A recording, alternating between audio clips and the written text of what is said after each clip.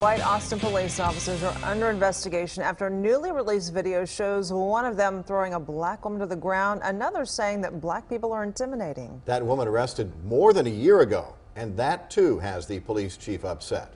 Shannon Murray here with details. Well, Tim Lauren Chief Art Acevedo says the video proves issues of bias and racism exist and need to be addressed. The video shows the officer pull a woman over for speeding, and he claims she did not cooperate and resisted arrest. Put your hands behind your back. Oh my God, are you serious? Put your hands behind Oh your my. God. I'm about to tell you. Leave me alone. Are you kidding me?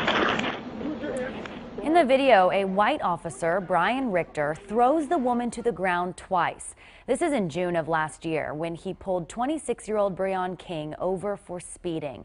He wrote in his report that as she tried to as he tried to arrest her, she struggled and resisted.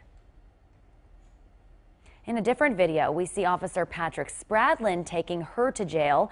In the back of the patrol car, she asked him about racism in the department, and he told her black people have violent tendencies and that some black people look very intimidating. But 99% of the time, when you hear about stuff like that, it is the black community that's being violent.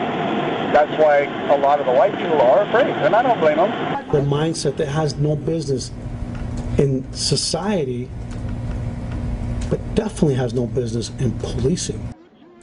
The officer charged King with resisting arrest, but after reviewing the video, the district attorney dismissed it. And the Austin police chief is now trying to find out why his subordinates did not bring the arrest to his attention.